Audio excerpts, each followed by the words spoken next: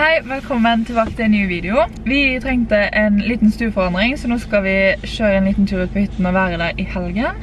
Ja, vi er sikkert fremme på hytten om en liten halvtime eller noe sånt. Skal være der i helgen til i morgen eller mandag. Vi har ikke funnet ut av det ennå. Tenkte å vlogge, tenkte å ta dere med, vise hva vi finner på. Så eh, ja, vi tutler utover der nå, så snakkes vi senere.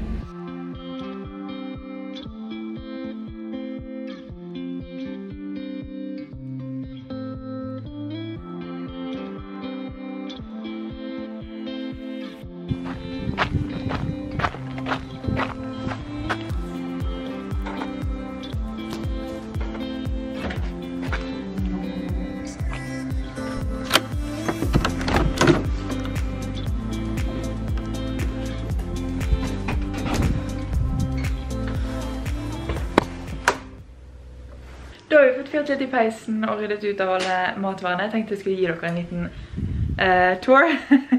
ok, så vi kommer inn her. Skal vi se, jeg skal snu dere rundt.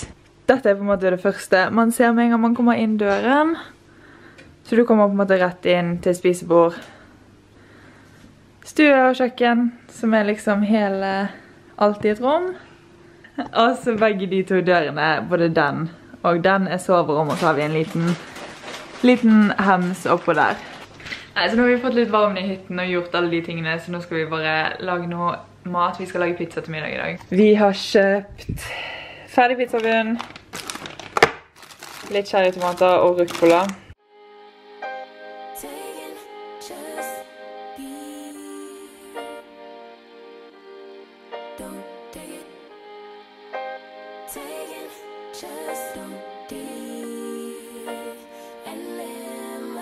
Don't take it personal. I ain't lying. I ain't hiding. I've been grinding, multiplying. I've been trying to get my weight up, staying prayed meditating and taking time away. You always posting up pictures, trying to look like you're winning. I'm writing rhymes in the kitchen, soaking in moments we live in. Yeah, you got the nerve to be on me, faking your life for the IG. If you got my number, don't add me, cause baby, I'm on hiatus. Stefan, hvorfor tok du på den filmen? Fremnet. Mhm. Gøy. Det var den skumleste barnefilmen jeg har sett i hele mitt liv. Nå skal vi se, klokken er bare, klokken er halv ni. Jeg føler at klokken er tolv, minst. Hvor tid skal vi legge oss i kveld, synes du? Nå? When we wake, hear the birds and see the sun. Side by side, our fears are done. Oh, the good times just begun. Oh, we know what we have, let's hold on tight. Found what we're looking for in God morgen, det er søndag, og vi har nettopp stått opp og spist en skikkelig deilig frokost. Vi sov lenge i dag, våknet bare liksom helt av oss selv uten alarm eller noen ting, så det var så deilig. Og nå er klokken 11, så akkurat nå er Steffen ute og henter ved, og jeg ser at han kommer rundt, rundt hjernen hele vedstammen nå. Hei! Hallo! Hallo! Nå har jeg hatt og hugget ved. Har du det, ja? Ja, så det eneste som egentlig står på planen i dag, det er at vi skal tutle ned på butikken og kjøpe litt brus, for det savnet vi i går kveld når vi satt og chillet på sofaen. Ellers så eh, får vi bare ta dagen så det kommer.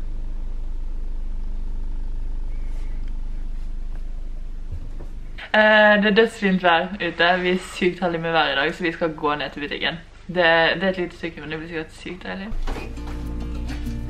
before I sleep. Vi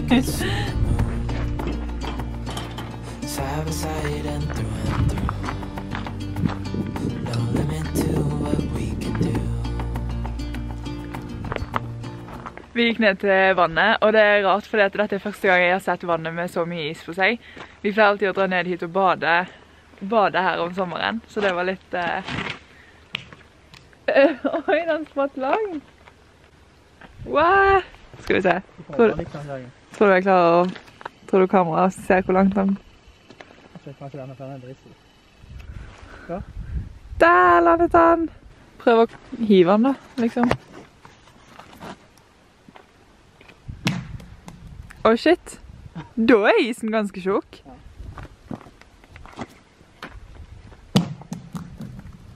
Jøss. Nei! Den gikk rett gjennom. Jeg tror ikke jeg fikk det med. Står du på isen, du, da? Kvakk, kvakk, kvakk, kvakk, kvakk, kvakk, igjen.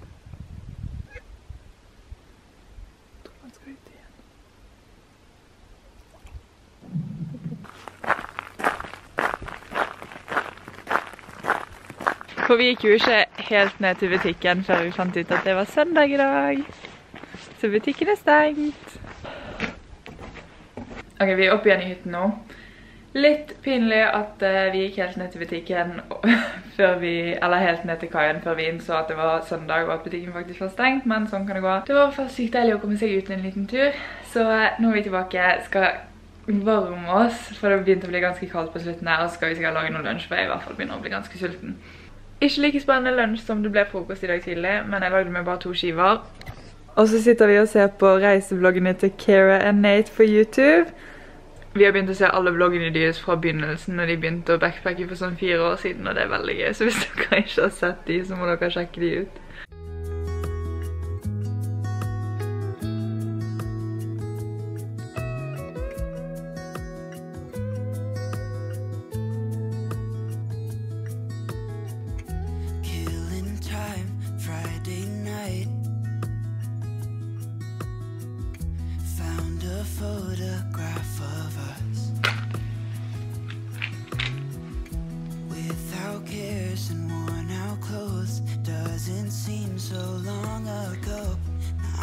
Sitting here bored at home.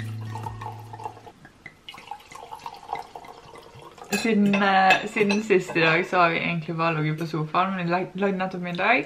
Vi lagde laks med poteter og grønnsaker. I utgangspunktet så hadde jeg tenkt å lage en sånn her, eh, sojasaus og honning. Uh, sånn liksom honey glazed salmon, et eller annet, en eller annen oppskrift jeg fant på Pinterest. Men det viste seg at jeg ikke hadde pakket med hverken sojasaus eller honning. Så da ble det laks med sweet chili saus, og det har jeg aldri gjort før. Jeg har alltid bare hatt det sånn på kylling og biff og sånne ting, men det ble faktisk godt. Er ikke enig? Jo, veldig. Og så eh, Ja. syns jeg ikke du skal skryte på meg at vi har laget middag. Nei. Du har laget middag. Jeg har laget middag. Du er snill. Er det vin? ja, takk. Jeg sa, skal jeg bare gå med tråkkefoten opp i skoen, eller skal jeg faktisk ta skoen på meg? Jeg tror jeg faktisk må ta skoen på meg, for det, det går ikke an å gå sånn.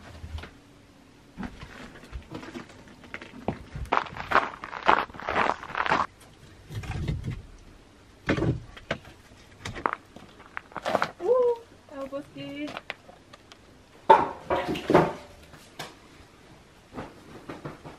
Man blir full i sånne her. Vi har det ganske koselig her. God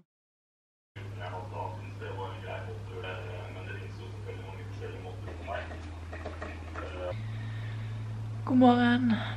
Det er mandag i dag, og vi har skole klokken ti. Steffen har nettopp hatt seminar, og jeg har nettopp hatt programmering og mikrokontrollere, så vi har begge hatt skole fra klokken åtte. Og vi la oss litt for sent i går, så vi er litt trøtt. Men nå har solen begynt å stå opp, og det ser ut som det blir skikkelig fint vær i dag. Så vi skal sikkert ta oss en tur ut etterpå. Men eh, vi drar hjem senere i dag, da. I ettermiddag.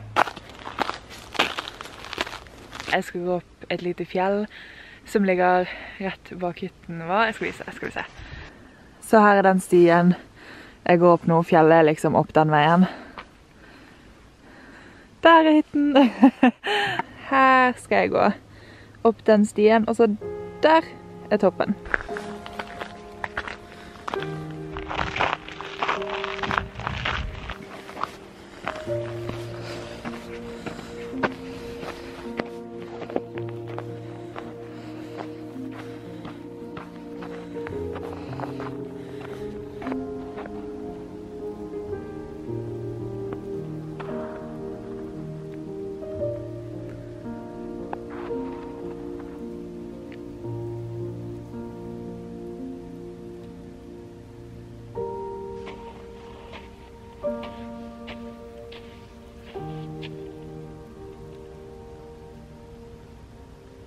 Jeg må dessverre gå ned igjen, selv om jeg skulle gjerne hatt skikkelig piknik her oppe og bare tatt med mat og kakao og bare sittet der resten av ettermiddagen.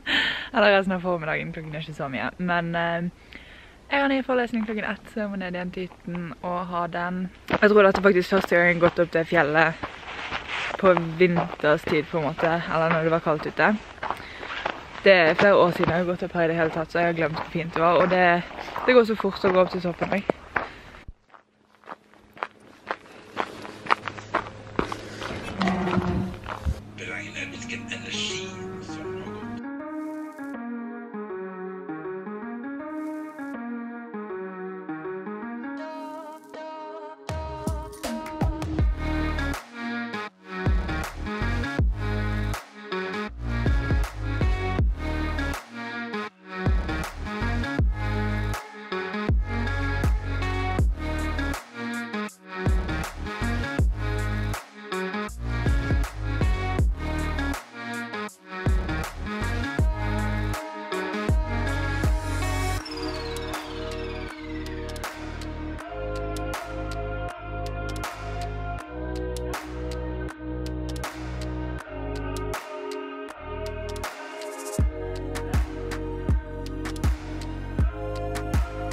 Jeg skrev ned alt som vi måtte eh, huske på å gjøre før vi dro, altså stenge vann og alt det der greiene der som vi holdt på med i sted.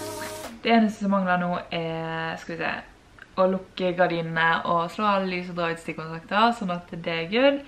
Og så er det bare å låse dørene og hive oss i bilen og tutle hjemme alt.